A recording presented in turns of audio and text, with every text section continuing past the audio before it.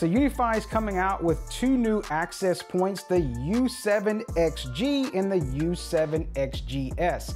And yes, absolutely, the X means 10 gigabit. So that's what's on the back is a multi-gig ethernet port that supports gig, 2.5, 5 gigabit, and 10 gigabit. Now the XGS does require PoE++, the XG is PoE+, and they're fairly like more like the U7 Pro and Pro Max, except there's no fans on them, and they're the new thin design.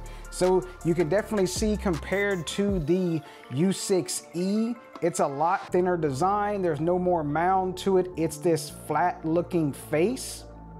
Now I know you may be asking, well, PoE++ 10 gigabit, what are we gonna use to feed that? Well, UniFi is coming out with their 10 gigabit ethernet line of switches soon. That will be an eight 10, 24, and 48.